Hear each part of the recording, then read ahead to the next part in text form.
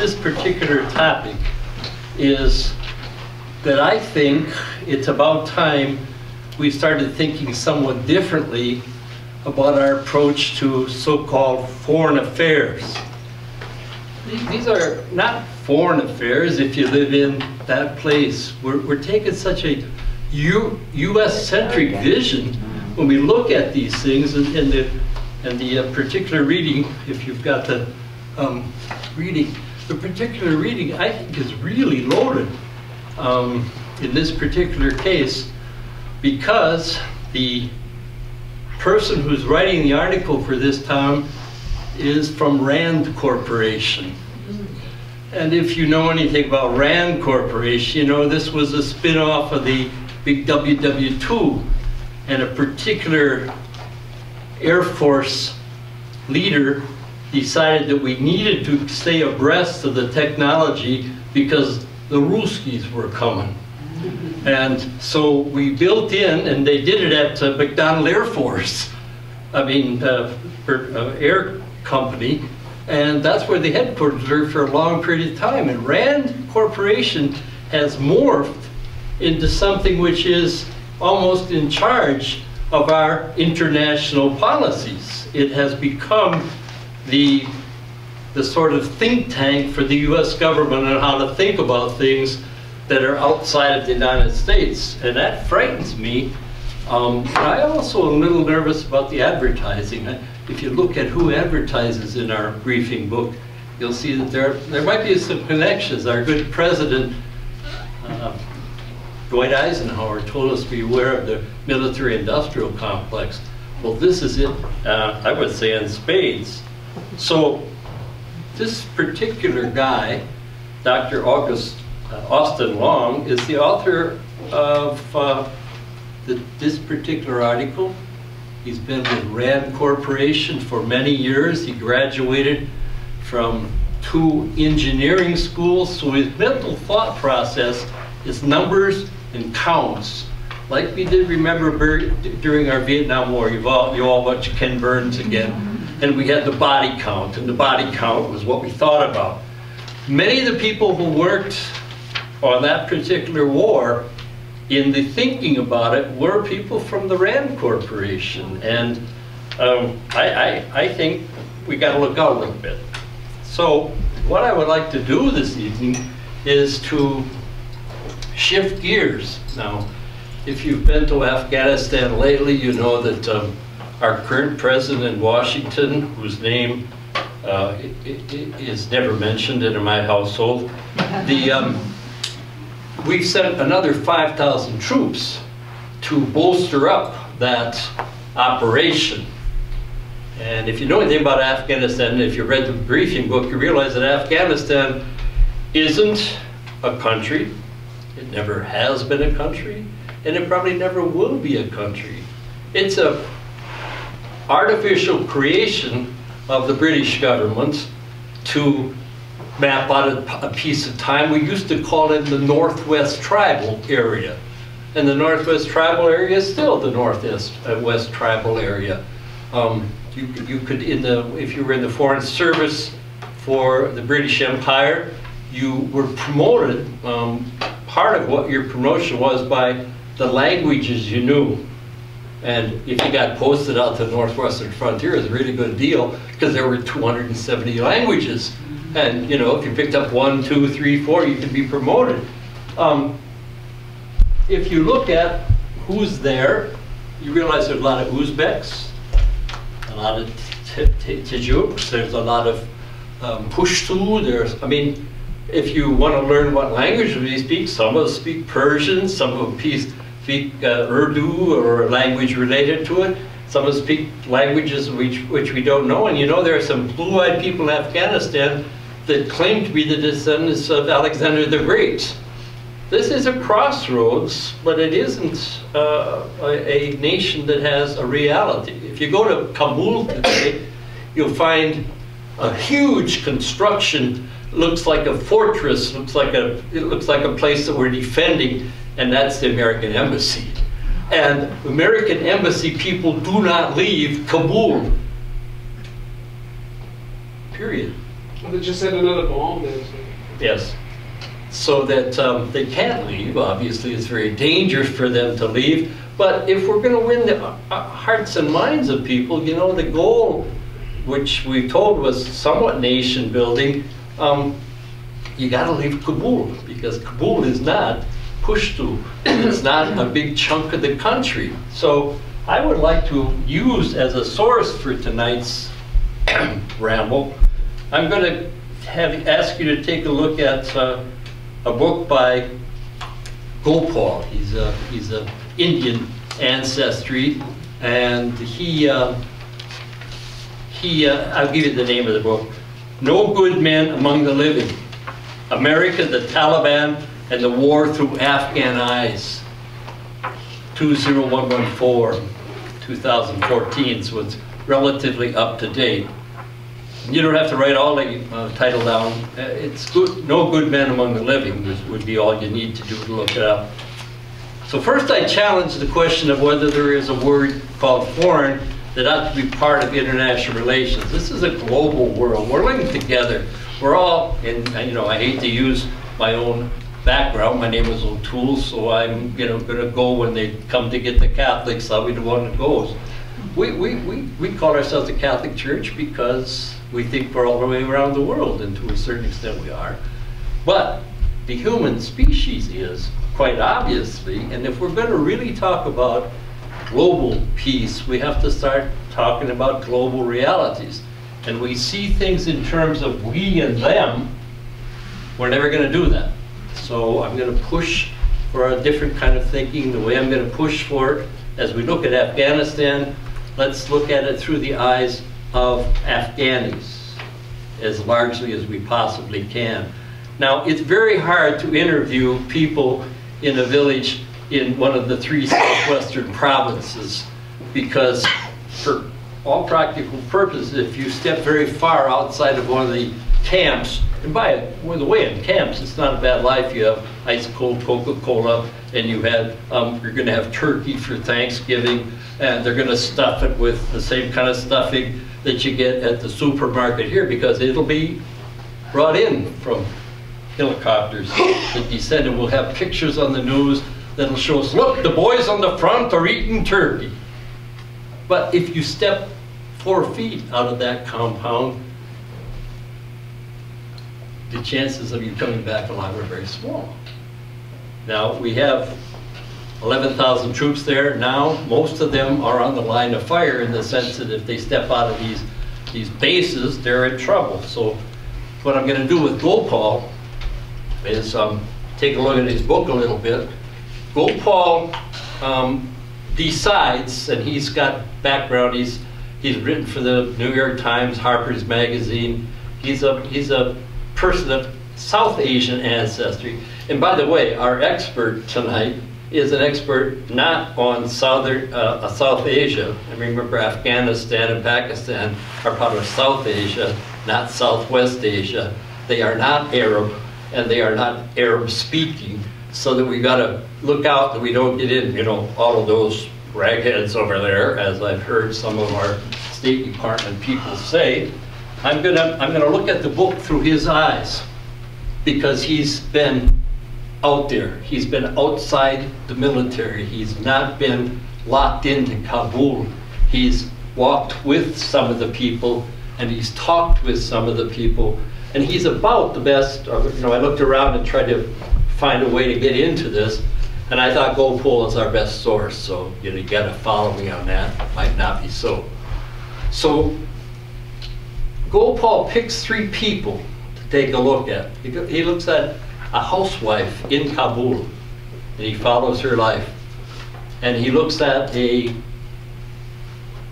warlord, I guess that's the best name, and he follows his life. And I think this is really good because you're getting into their lives and you're watching how they're living. Now, he, uh, he also takes a military commander at a higher level to follow. So, but these are all Afghanis. He worked. He wrote for the Christian Science Monitor, The Nation. You know, he's. I, I guess he's pretty good shape.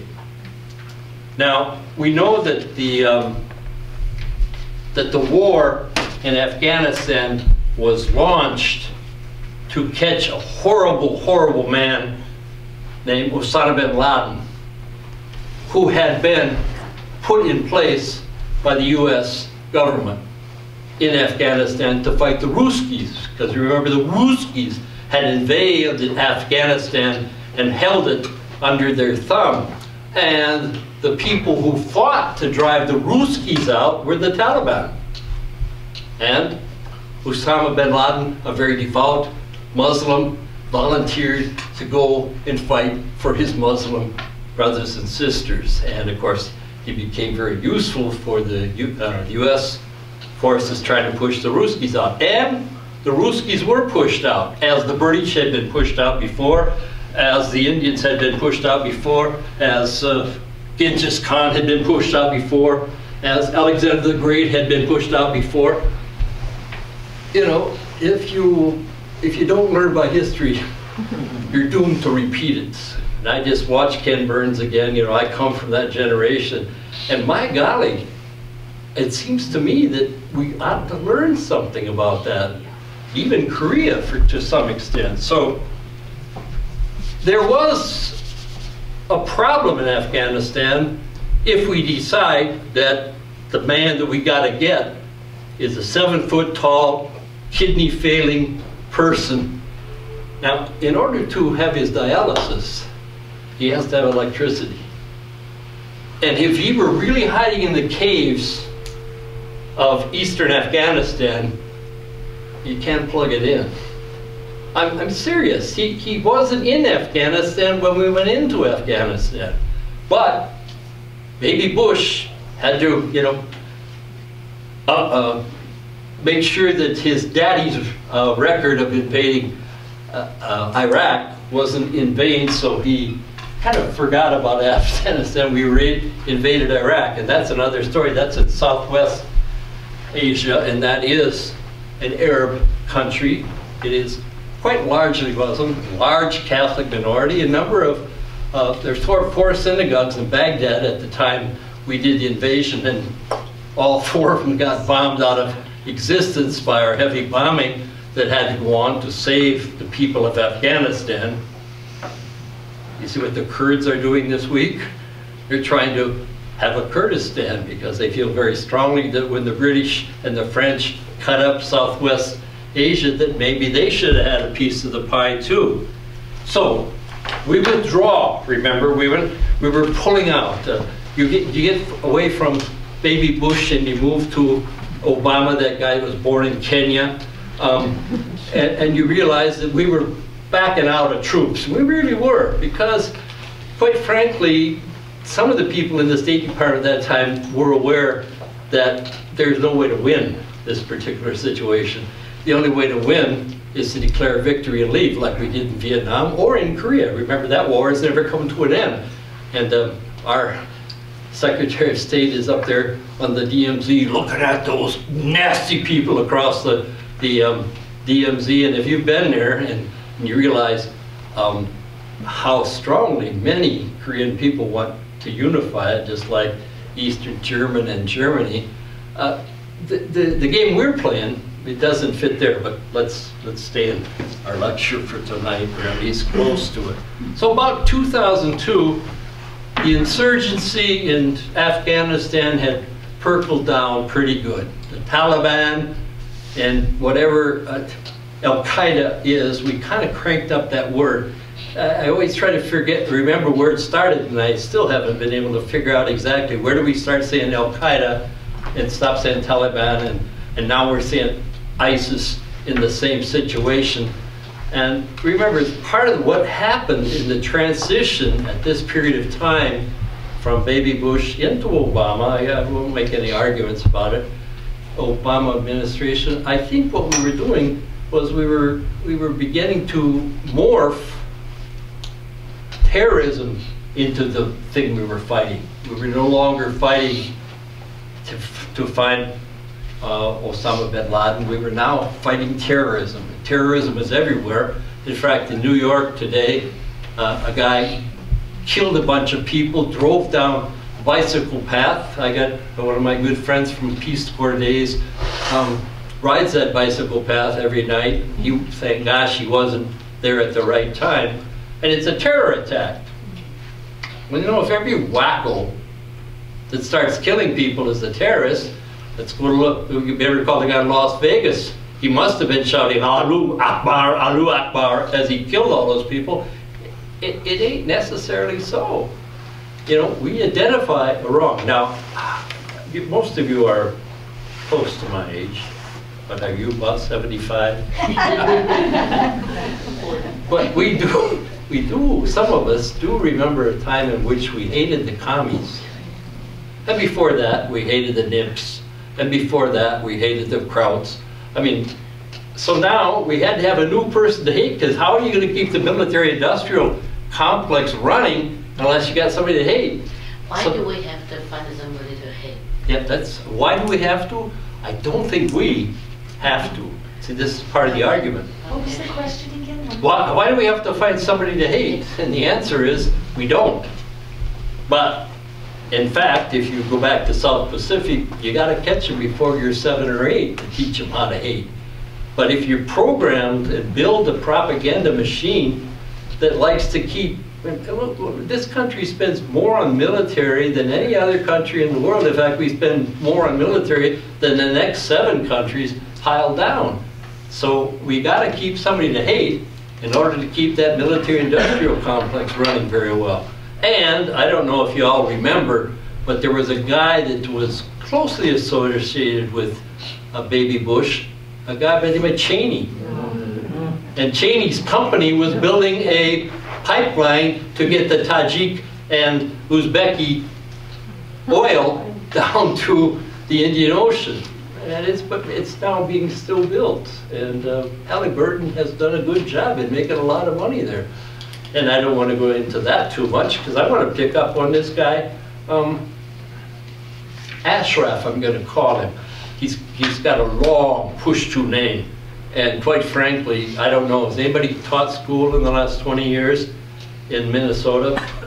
You know, when those kids come in from, from uh, various countries, especially Southeast Asia, I have a hard time pronouncing their names. And so I'm going to call the guy Ashraf. Because if I call him by his Pushtu name, we're going to have immediate negative feelings because we've been conditioned to see Islam as something to be very leery of. Really kind of rough on my family because the woman who takes care of my wife, who's bedridden with MS, happens to be some, from Somalia. And she walked across the street and asked if she could help because she saw that my wife was, well, like in a power wheelchair out on the porch. And Fatima came over and said, could I help? And her mother came over to check out the house to make sure it was halal because, you know, we might be frying pork and she wanted to make sure we weren't. And she was a charming woman, had eight words of English. I loved her to pieces. I saw her at the precinct caucus and we were for the same um, people. So that worked out really well. So let's pick up on Ashraf. Now this is 2001. He's in charge of the three south, um, what eastern provinces of Afghanistan. He's Pushtu and he's up against the border. Lots of Pushtu live in Pakistan and lots of Pushtu live in Afghanistan. And that's because when the British government drew its lines, it didn't pay any attention to what ethnic groups it was cutting apart. It just sliced the line at some place in Whitehall to make it operate that way, and then you make it true. Um, how many people saw Charlie Wilson's War? It's about 2007. Remember that one? This uh, Minnesota congressman goes out and he's going to figure out how to how to fix things up out here. And you saw what happened to him. He got roped into supporting a warlord who had very little to do with caring about Afghanistan as a nation, was more interested in making sure his pockets were well lined. Um, it's based on a true story, that, that movie, and it was a CIA Mujahideen that was the person that he was fighting for. Mujahideen, uh, a fighter for the good, uh, you know, to translate it a little bit. He's very highly regarded by the State Department because he had fought very bravely against the Soviets. In fact, he had earned a reputation among the Afghani people, even people that weren't Pushtu, that he was one heck of a guy. One time he was badly wounded, and instead of stopping, he continued the march as he was bleeding and didn't seek help until after the battle was over. He's, he's a tough dude, and we really liked him. He was also a very close ally of Osama bin Laden, because remember, Osama bin Laden was fighting against the Russians, so then he was a good guy at that time, and he doesn't come, become a bad guy until we switch gears and decide we're going to do another operation. We want to take over that particular country. So in the 1980s, Ashraf is getting a lot of money from the U.S. government. Well, not the U.S. government you can track, but that whole underground U.S. government that the CIA is part of. Um, so he was a good guy. He was a hero. He, he was well seen by Pakistani, uh, well, yes, Pakistani people as well, but Afghani people, he was well seen by the U.S. Uh, military, sub-military. Officials in Islamabad really liked him. He he had made uh, he had made connections in the United Arab Republics to to get funds from people who who wanted to save Islam from the nasty, godless people from the Union of Soviet Socialist Republics, which, by the way, Afghanistan probably brought down the U.S. Socialist Republic. So the problem was that when the wind down happened, he was really interested in getting his three provinces under his control, which isn't unheard of. Uh, if you watch how warlords operate, they, they try to aggrandize uh, an area that they can rule over. But this guy was an interesting guy. He was building schools and he was um, constructing mosques and he was really highly regarded by the people of that area. So Ashraf is an interesting guy. So when the U.S. military force began to decide who was the good guys and the bad guys, Ashraf unfortunately ended up on the side of the bad guys. He became labeled a terrorist. And once you're labeled a terrorist, a terrorist, then anything goes because you've got to be eliminated from the face of the earth. And I'm going to quote a former U.S. intelligence officer. Here's what he said at this particular time, and I quote, At that time, no one was thinking of where we might be in five years.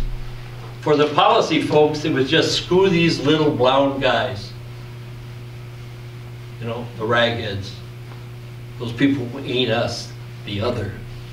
And as long as you can split the world into good guys and bad guys. You know, the old movies I watched when I fought the Battle of Popcorn Bay in Adrian, Minnesota, many, many years ago, you knew the good guys. They wore white hats. And the bad guys wore black hats, so you knew.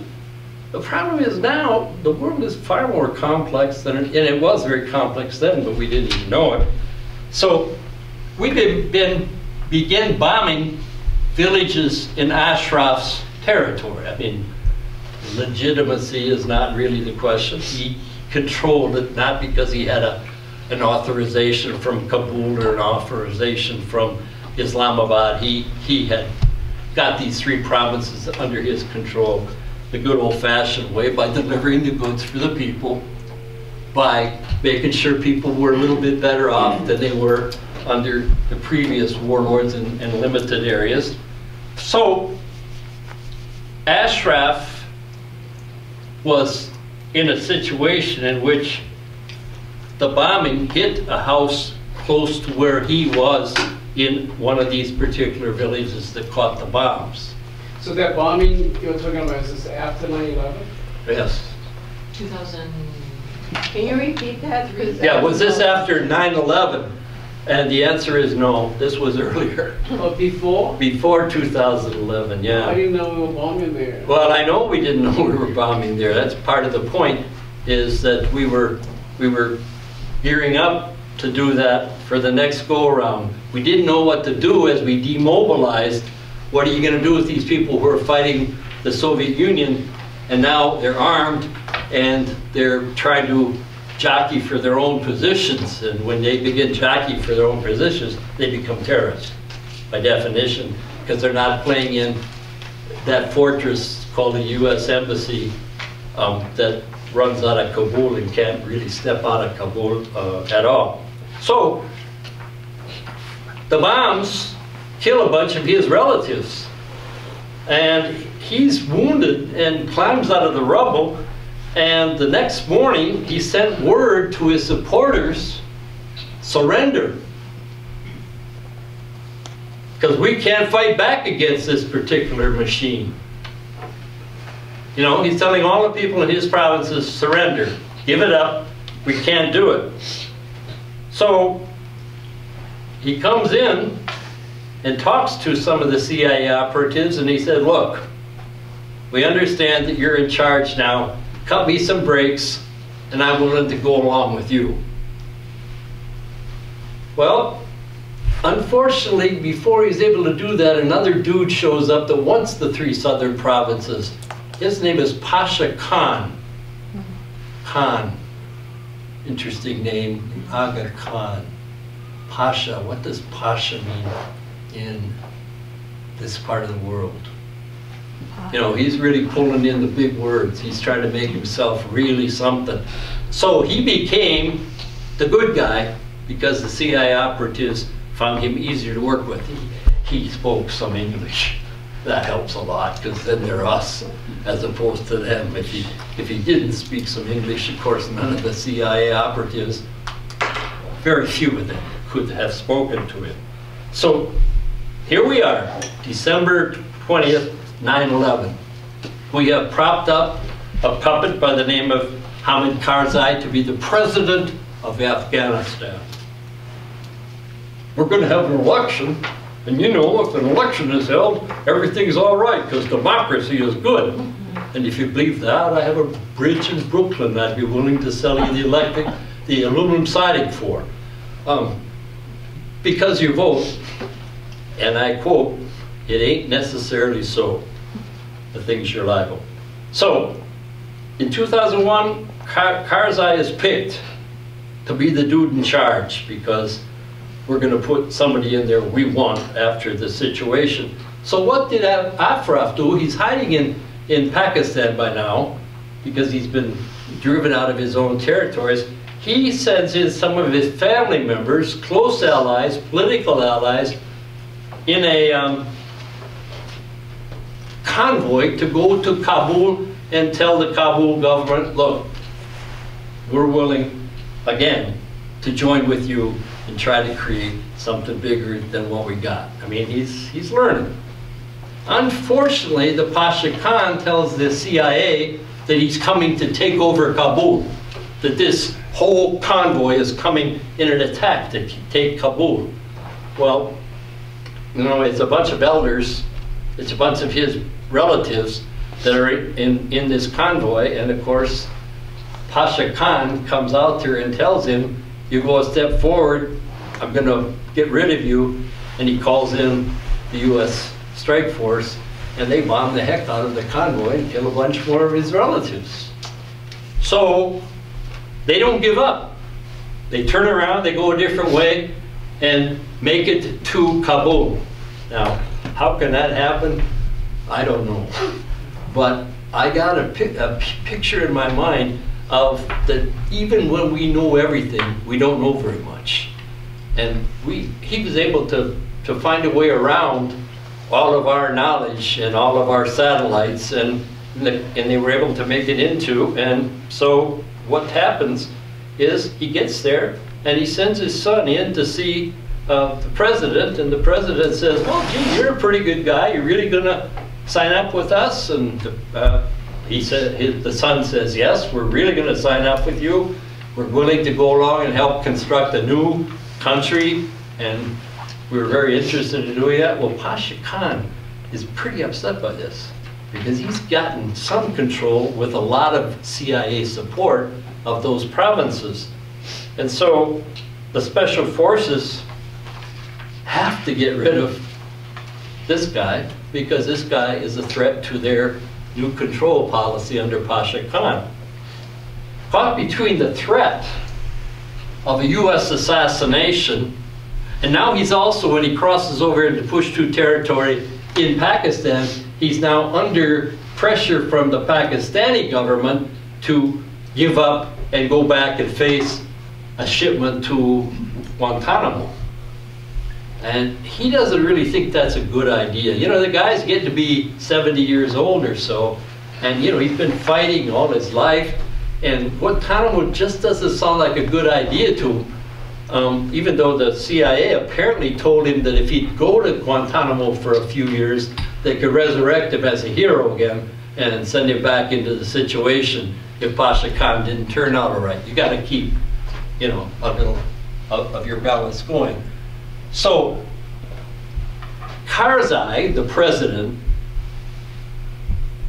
Ashraf is out of the country, hiding in Pakistan, probably pretty close to one of his buddies, Osama bin Laden.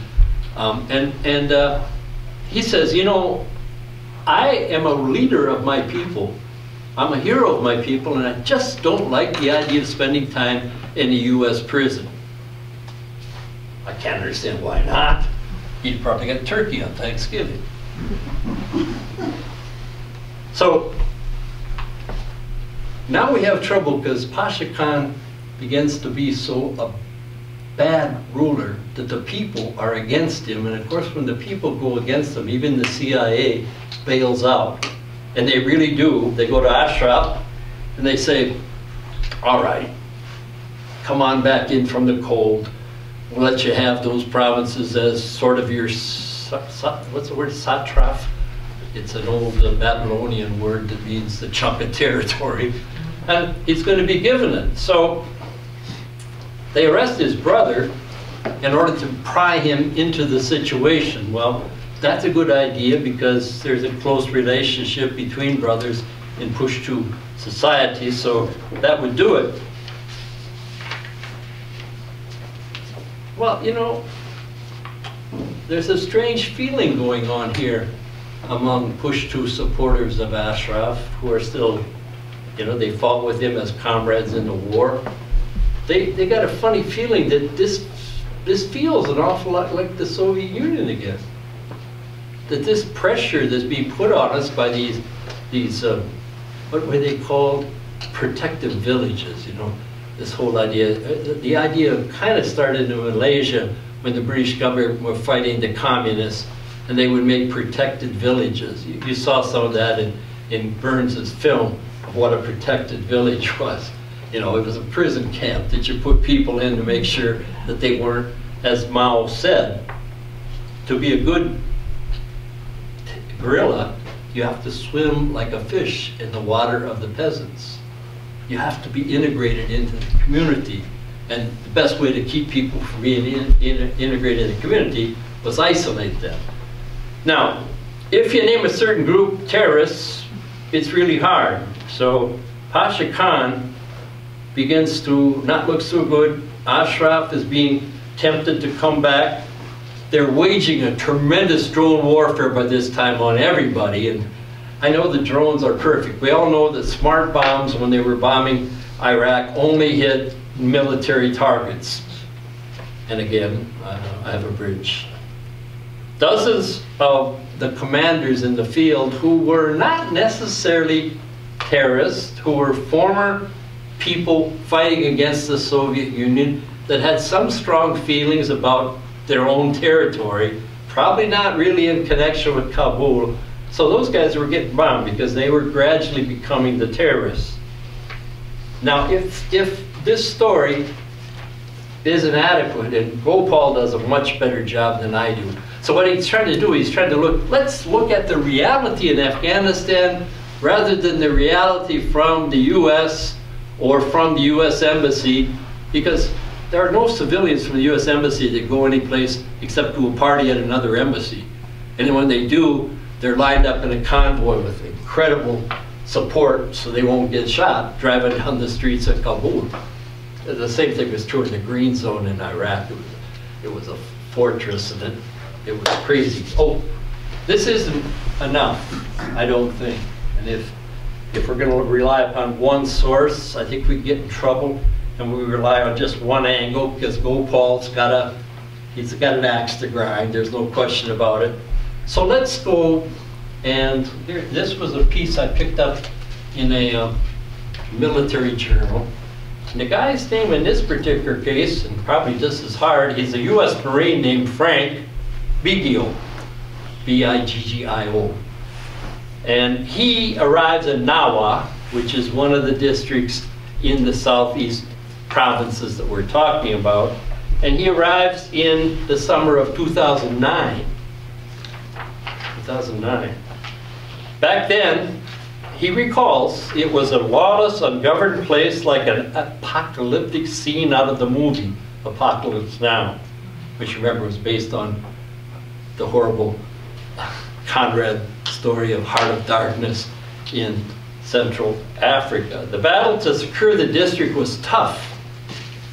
Four Marines were killed during the deployment, and Biggio says, we had worked hard.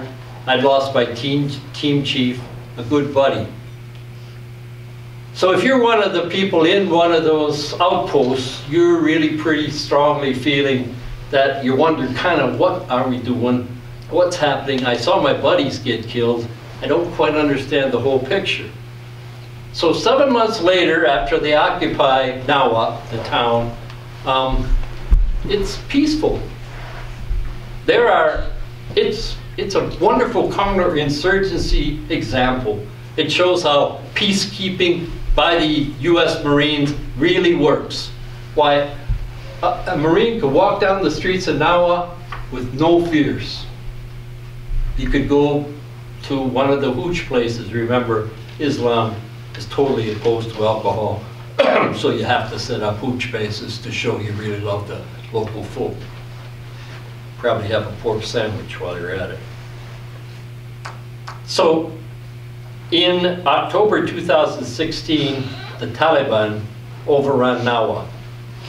They took over that outpost and they did it in pretty evil forces. It was never safe, by the way, for Afghanis to walk down the street in Nawa anyway.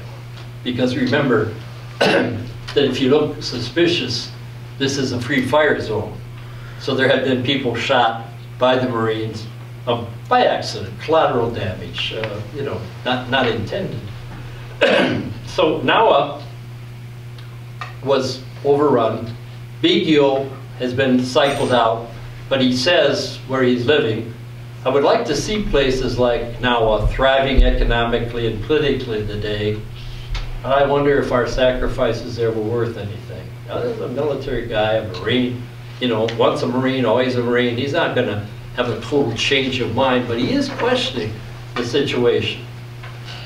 Now, the Taliban in 2011 and in 2016 and probably into 2018 and who knows, the Taliban really profits from the money that comes down the ladder from the US government through the CIA.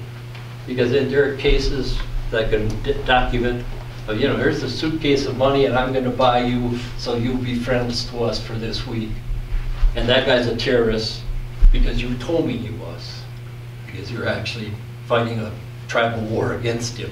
So the Marines come in and bomb the heck out of him. You gain, where does the money go? Mostly into your pockets. And this is pretty accurate picture of what we're talking about here. So when the Marines took over, they, it was a bad place.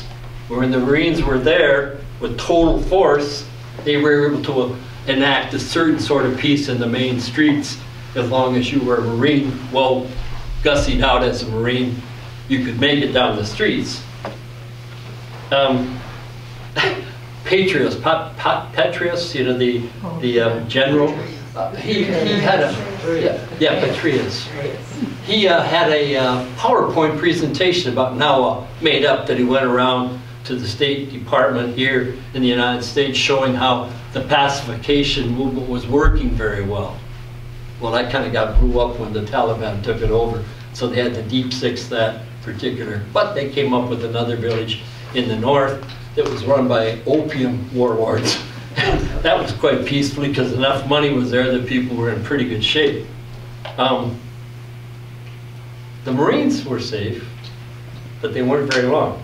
So, 2015, flashing ahead, there's a, um, uh, let's call him a governor of Nawa, who has been able to a certain extent um, stabilize the situation, kind of weighing off against the really radical members of the mm-hmm. Taliban mm-hmm. and saying, let's take it easy, let's not bring the airplanes down on us again, let's play along as much as we can.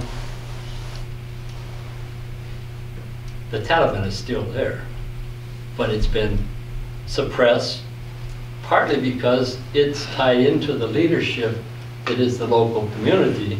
The local community is a little tired of the bombing, so they pull off the action. Now, let's see what happens here. This is what I'm going to talk about, an army of ghost soldiers. They still are the main operatives. The United States government has, why, if these 5,000 that were sent in, if we add them up, it's probably about 16,000 official troops.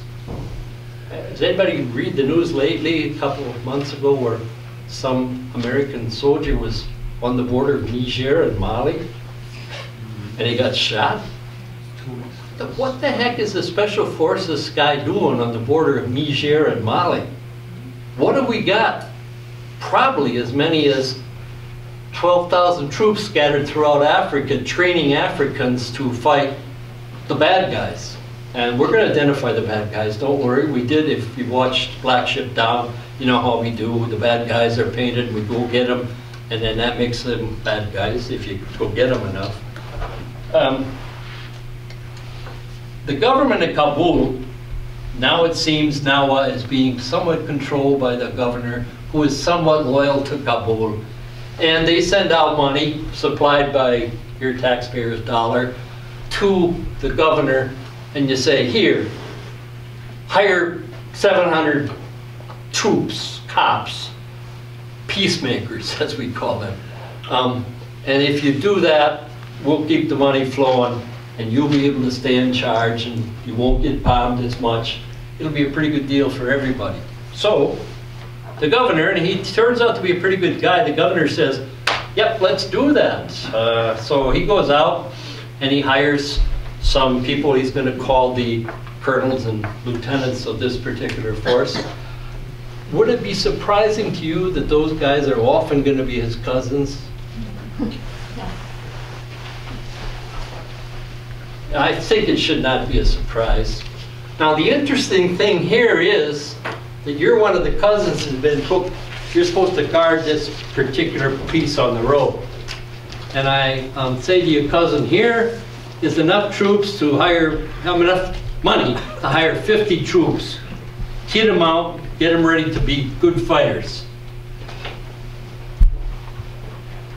Now, if I only hire about 12 guys and keep the supply money, it's a real profit. These are the ghost soldiers that are fighting much of the battle in Afghanistan right now. They do not exist. But we can give them names, and we can send a dossier up to Kabul, and then that ultimately ends up in the CIA office in Langley. Ghost soldiers. Ghost, they, they're not the ghost soldiers that the Lakota brought up. They're, they're honest to God, not there. Halloween night is a good time to go looking for most of the Afghan um, forces that we got in the field. The names of dead people, you know, it's almost like Daley's Chicago, you know, you voted the graveyard. Um, you remember Daley, vote early, vote often, um, but he was supported John's, uh, anyway. So the governor of this particular area resigns. He, he's an honest man. And he realizes the thing has got totally out of control. And he described his own knowledge of what he had put in action. In one district, he said there were 10 ch- checkpoints. And each of these 10 checkpoints had 25 men assigned to it. On one visit, And all the checkpoints, he found 96 people. 54 had AK-47s, remember that's the Russian ordnance that was left over from when the Soviet Union invaded the country. Most of them were unarmed because the money spent for guns had gone someplace else. And most of them were actually unfit to work. Most of them were guys with missing limbs and missing parts of their bodies because they'd been involved in fights for a long period of time. So the new president, whose name was Ashraf Ghani, I don't know if you've ever heard of him, he's the next puppet that's picked. And Ashraf Ghani meets the governor of this region, and the governor says, I can't take it anymore. I've been trying, I've been trying what you're trying, but I can't make it anymore. I don't make this governor into a bad guy or good guy. I don't say, I don't say that Ghani was, is a bad guy, good guy. I'm just saying it is what it is. Around half of the 26,000 personnel assigned to the provinces right now do not exist. Their salaries end up in personal accounts that usually are banked in Dubai or one of the Arab Emirates because that's a pretty stable place to have your money because those petrodollars are still worth something. The military last year put, a U.S. military, put $100 million into supporting this area. $100 million. And most of those dollars have nothing to do with fighting the terrorists because the terrorists to some extent are ghost people because they come and go because sometimes they're on our side and sometimes they're on the other side and sometimes they're on their own side and any idea that there's a concerted action to take over uh, Afghanistan doesn't really understand this. So, now, Nawa, the town we were talking about er, er, earlier, fell to the Taliban. And so the U.S. decided that they would make an example of this because Patrias Petraeus had betrayed us. And, oops, excuse me, nasty. How long will Nawa stay out of control because we retook it? We dumped in drones, we dumped in air power, we did everything we possibly could. It was one of the largest military operations in the last couple of years in Afghanistan. We retook Nawa, this small, dusty town. How long is it going to stay in control of the U.S. or the U.S. Afghani supporters? Because remember, most of the Afghani supporters are ghost supporters. The, the Taliban probably has people in the field. Biggio, let's go back, remember the Marine that we started talking about? Biggio has retired from the, the services and he's living in one of the Arab Emirates as a business leader who's making pretty good money as a go-between between U.S. corporations and the uh, Abu, Ab, Abu Dubai um, government. I think that's where he is. Um, the reason he got that job is because actually his Arabic had become pretty good with working with troops who spoke Arabic, more educated people often often go beyond their tribal language and use Arabic as a lingua franca. So he, he learned Arabic pretty well in the field, and so he's got the job of cut what he learned in the Marines. So maybe the recruiting guys are right. Work for the Marines and get a good job when you get out. He's got a good job. He's uh, working for a foreign corporation in a foreign land and he's not planning to come home because he's kind of unhappy about the way we run things here. I quote him, it might be true if I really think about it, now it was lost before it was won we didn't have any incentives to offer the soldiers on the ground. If you want to have Afghani troops fight for you, you've got to make their life better. And if you trickle the money through a government that has no control of the areas that has to call upon warlords to do the fighting, and the money is distributed that way, you're not pulling together a nation, and you're not touching most of the troops. It's all going in the pockets of a few people and the troops don't get very much money. I, I'm quoting him uh, in his residence in Dubai. There must be an end point to this, but I don't know where. We can't stay there forever, but I don't know when. So we're in worse shape today than we were under Obama.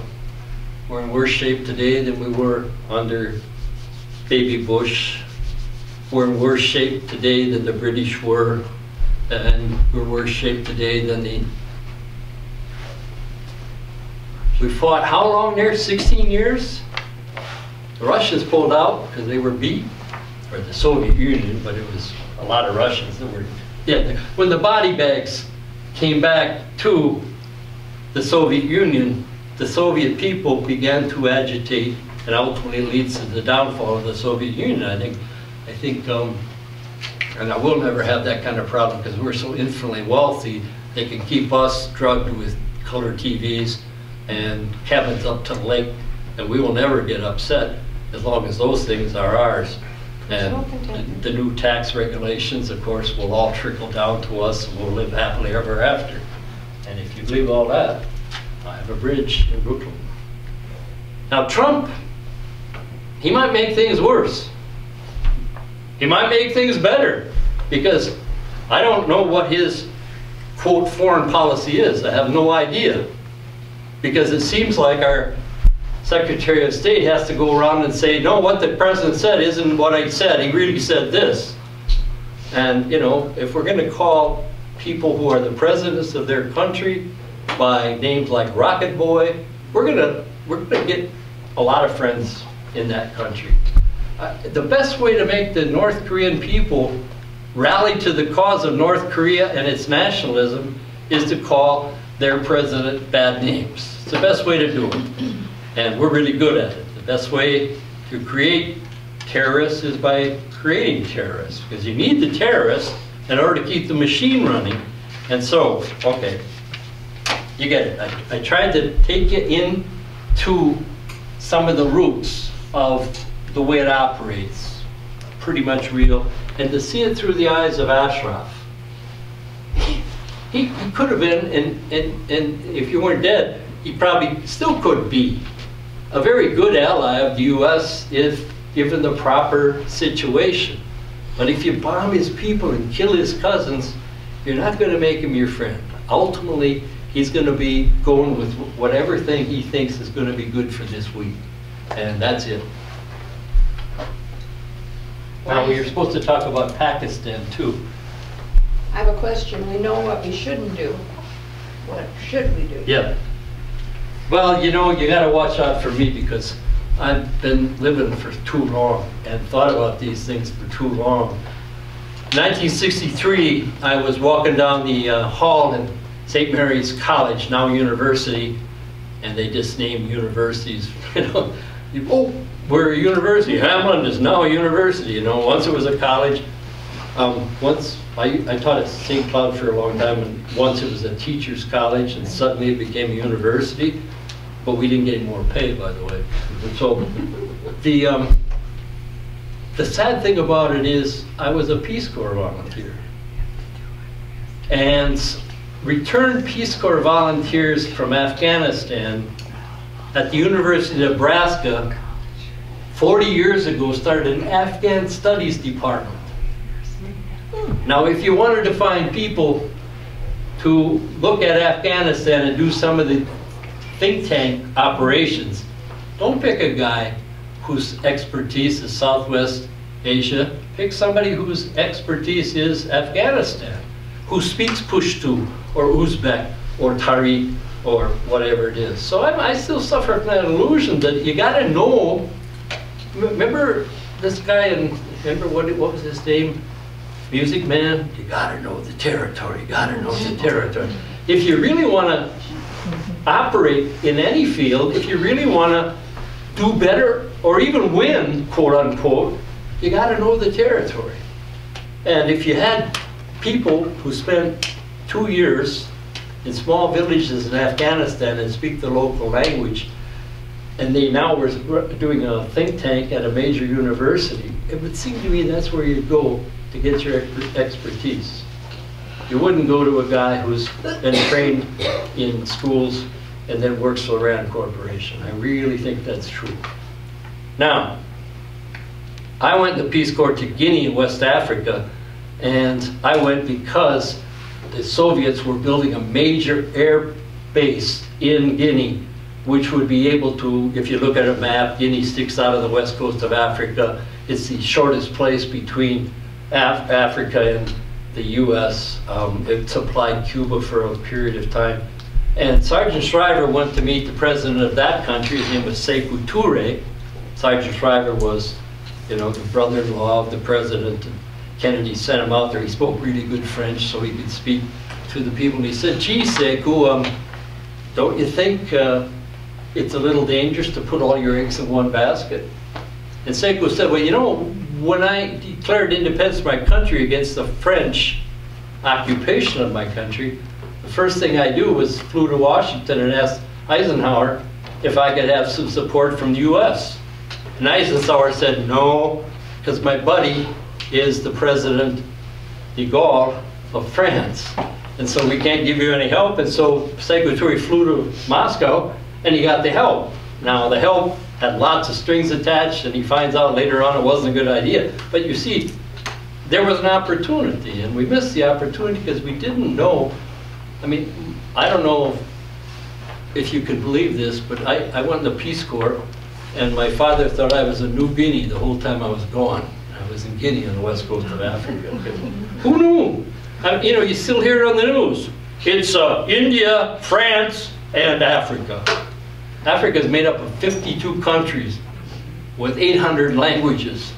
And so I guess you got to know the territory is something we're not really very good at. Well, even we know the history, we still repeat it. Why do we still repeat it? Well, the trouble is with history, as, as um, Henry Ford once said, is it mumbles a lot.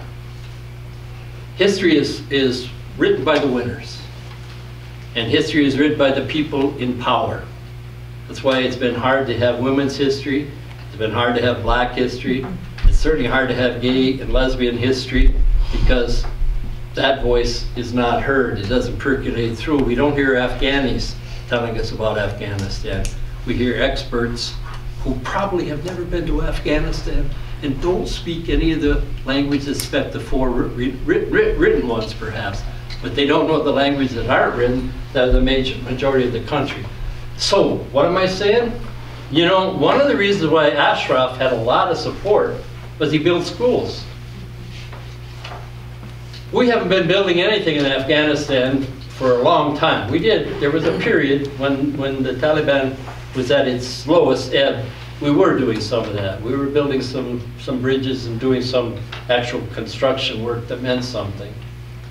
You know, Jimmy, you know, who we knew was the worst president we ever had.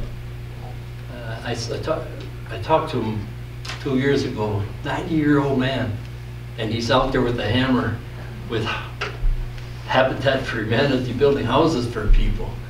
You know what? People in the communities he built houses in really like them. I don't know why. I can't understand that a bit. We spend so incredible amount of money killing people that if we spend just a little bit more with hospitals, I think we gain much more power because this is a fluid country. It's a very fluid situation. And I don't think it does much good just to pick a boss in Kabul who can't even leave the capital because he'd be killed if he did, or at least attacked. I think we're probably better doing that low down thing. It Takes a long time. I was in my village for two years in Guinea. I'm using an example, I'm sorry. But my father said, and my father's a very intelligent man. He, uh, he was a member of the Farm Labor Party instead of what Humphrey made it into. Um, the, uh, he said, you know, if I were in that town you're in, two weeks, I'd know everything there was to know about it. It was a town with 500 people in it. And then, my father's not stupid, he said, and then if I were there for two months, I realized I didn't know anything. And perhaps after 20 years, I would know something. We have to learn to pick the people who know a longer term and who know the people in intimately, who know people and speak their language and have lived in their shoes. Remember the old saying? Dennis Banks, by the way, died. Yeah. And Dennis Banks told me one time that it really was an Ojibwa saying. You gotta walk seven days in my moccasins before you should say anything at all about me. And I, and I really, I really think that it's still grassroots construction and schools and Peace Corps. Now, I'm also a life member of Fulbright, and I've taught in universities in three countries in the world. How did I get to have three Fulbrights? Well, I'll tell you how. You pick the country that nobody else will go to. So I was Fulbright, taught at the university in Central African Republic. I was Fulbright in Haiti and taught at, helped found the, the new university, Quisqueya, which is named after a Taino person who had fought against the Spanish when they first occupied the island. And I went back to Guinea in 2002 after leaving there in 1965. And some of my students' fathers knew me. And I was at a meeting in the history department in the capital city. And a guy was sitting across me and he, he finally said it. He said, you know, you're not the guy that taught the prostitutes at the bar in Guéckédou how to do the twist, are you? So they remembered me, even all those years later. So that's, I mean, my answer is, it, it sounds so Pollyanna, so far out. But you know, after we've repeated the stupidity of thinking war can do it, maybe we ought to try some other thing that was really off the wall. You know, if you do the same thing again and again, and it doesn't work, you're getting a little silly if you do that. You remember that old story about the guy who's looking for his keys? He lost his keys, and he's uh, looking all around under the streetlight. The other guy comes up, and says, "What's happening?" He says, "I'm looking for my keys." And he said, "Well, where did you lose them?" "Oh, about two blocks down there." "Why aren't you down there looking for it?" "No, I'm under the light." I I think that fits what we're talking about. If we can't see the light because we choose not to, then we've got the problem. Do you have time now for questions? Oh, yes, please. I, I would ramble on forever. I got, this is page 13 of 26. I'm going to Pakistan next. And you don't want to do that because it gets more complicated. You've got the briefing book. And by the way, the, the briefing book does, you know, the superficial scope that we get in our history books and our, in our textbooks. Questions? Yes, sir. Uh, Oh. Go ahead. That, uh, Afghanistan, uh, there was, I don't remember the year exactly, but uh, when the Russians came in, it was then that the guy that was running Afghanistan had disposed of the king. Yes. Now, were they successful, Yes. except for one province, I think that was under, Yep. Under control of the Soviets. uh, no. Of the king. One, one was uh, controlled by a guy named uh, Ahmed something. Yep. And he was later assassinated. Um, Did Afghanistan then anytime saw any light? You know, I, I would say no. Um, Afghani nationalism is really not nationalism. It's really tribalism. Analogous to it is when Sun Yat-sen came back to China in 1911. He's been educated in Japan and the United States. He comes back to China, doesn't speak very much Chinese anymore. He comes back and he tries to set up a democratic government. And the warlords, including Chiang Kai-shek, take him on and he's ultimately kicked over. And we had a situation in which nobody was in charge of China until the Japanese invaded us. And then we fought back against the invader. But the guy who did most of the fighting was Mao Zedong. Surprisingly enough, the people really rallied around him at the end of the war. And that's the way it has to happen. I mean, you have to have a sense of building the, the nation. And it isn't built by U.S. votes.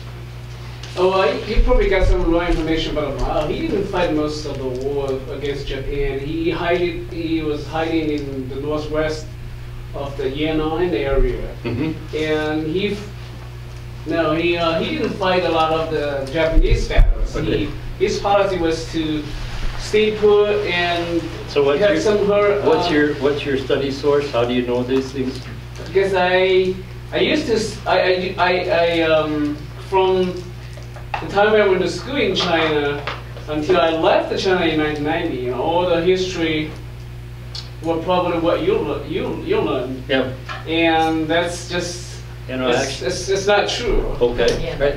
Well, Propaganda. I, I like the word truth and I like the word false news because quite frankly, if you're gonna write the story of Richard Nixon and you rely on the source called uh, Patty, Patty Nixon's story of her daddy's last years in the White House, you're gonna have a different story, and she was an eyewitness. She was right there. You're gonna have a different story if you read it from somebody who really was opposed to him. So kind of, you gotta think about the fact that all truths are relative. Well, that, that is that is correct, but I have personal experience um, to show that Mao was not a great person for the ordinary Chinese. Right, how, how, Okay, how, old, how old were you when Mao died? Uh, I was born in 1963, so he died in 1976. So you knew him pretty personally. Oh yeah, my uh, my family um, was actually uh, one of the millions of victims under his policy. Well, then, And, then I know your truth is, is, is very good, it's very strong, and it is true as you see it. Well, No, this is the way history is, and we're not gonna argue about Oh, it, yeah, you're no. right. I mean, you're right, that my, my vision is, is kind of a a superficial one. I'm not an expert in Chinese history or studies, so I'm gonna take your word for being better than mine, in this case. So, you're right. We have a tendency to know what we know. Go ahead. Oh, you're next. No, uh, I was born in 64. I came from the same country, but I agree with you. Everybody's relative. The truth is, I don't think we can ever can get the pure truth. no, I think, so. The we tru- just, we just, but I, I know when we're gonna get the truth. The truth is gonna be that day when we go, hmm. That's when we got the truth. I mean, that's the only real truth. So be careful of that word. History is constantly being revised, and history is constantly being seen by different points of view. And you've got to think it through. I mean, that's what this kind of discussion is about, is reading the documents and then I'm criticizing these documents. Well, I'm criticizing them, as I pointed out, from a particular point of view. Doesn't make them right. And so I honor your truth. I have a question about a good author that you said, no good man among the living. How about for Pakistan? Because that is more referring Yeah, well, you know, the Pakistan, I would give the young woman who won the Nobel Prize the oh. first oh. read because her book takes you to a village that is faced by Taliban oppression. And it tells a quite a bit different story about what happened in Pakistan under control of people who came from the outside. They weren't us, they weren't even the Pakistan government. Her suffering really began with Taliban occupation of her village. And what was this? I am Malala. What's her Is name? I am Malala? I am Malala. Oh. Oh. She won the State Department, I mean, she won the Nobel Prize. very recent. Of course, look who won the Nobel Prize for Literature this year. I don't know if you read that author, but this wonderful Japanese man, if you looked at the world through his eyes, you'd give up and, you know, not ever come out of your house again. Um, I don't necessarily agree with his vision of the universe, but he won the Nobel Prize. Doesn't make him right, but it is interesting to see his point of view. Okay, now this is taking us off the track, but I re- recently read the Panama Papers. And my perception of the world completely changed with that because there is so much dark money. Nobody who has a lot of money pays their taxes. I feel like a fool because I'm paying my taxes like a good citizen. And, and it sounds as though the economies of the world don't add up to the amount that is being, like you said, pocketed by these everywhere, whether it's arms dealers, whether it's Well, heads of- heads of state. I always get a kick out of the term black market because it is the world's market. The only way that the Europeans were able to make a lot of money in the world going back to 1500 was by colonization, but more importantly, capitalization of that colonization. And that meant you had to have a product that had a totally elastic demand curve. The more you deliver, the more people want. So you start out with something like the sugar industry, which destroyed much of northeastern Brazil, and you bring people from Africa and destroy their way of life in order to grow it, and then you poison the people of Europe with it. But the nice thing about one spoonful of sugar helps the medicine go down, more spoonsful of sugar, and then make it into rum, or distill it a little further. Or if you don't want that one, what about uh, Raleigh and uh, Durham, North Carolina? Tobacco, really a wonderful thing because the whole world smokes tobacco. Even some Chinese people smoke tobacco. It, they didn't before the European presence. And so European presence took a Native American ritual thing and brought it around the world to become a nasty habit. Coffee was another one you could make a lot of money about. And cocaine is another one. And opium is another one. And there's money in them dar hills. So it isn't just quote raw materials, it's part of the early stages of capitalism that begin this process of, yep. But if you want to find out what's really happening, you gotta go where the money goes. You know, go back to Ronnie Reagan and how he fought the, you know, how he armed the Contras by selling arms to Iraq and then, you know, In the areas, I'm not quite sure how to phrase this, but in the areas where there are coalitions, where the U.S. military, like in Niger, with the French, are the perceptions by the locals of those other national uh, troops different than the U.S.? and Yeah. How are they Yeah. viewed? Let, let's go to, let's go to Mali or Niger, either one of the countries. We achieved our independence from France in 1960. So some old guys like me remember when the French were here. I was in Bangui in the Central African Republic, and in 1947, after the Second World War, there was still a law in the books which was honored, and that is, if a black man stops you on the sidewalk, you're allowed to use three blows of the chicote, which is you know, the cat of nine tails with little lead weights on the end of each. You get three blows, which means about 27 blows times 27 blows times 27 blows. That was my legal right as a Frenchman to do to the subject. Remember, I'm a citizen, you're a subject. Now, if my granddad told me that, heck, my grandfather, who's been five generations away from Ireland, doesn't like Brits. You know, people have long memories, and I would suggest that France in Mali or Niger looks like an occupying force of the old guys we tried to kick out. And the distinction between a Frenchman and an American is very hard to make if you're an African villager. Now, the guy who got killed was black. He didn't speak a word of any of the local dialects, didn't speak French. He really wasn't one of us. I, I, I think that's what we're talking about.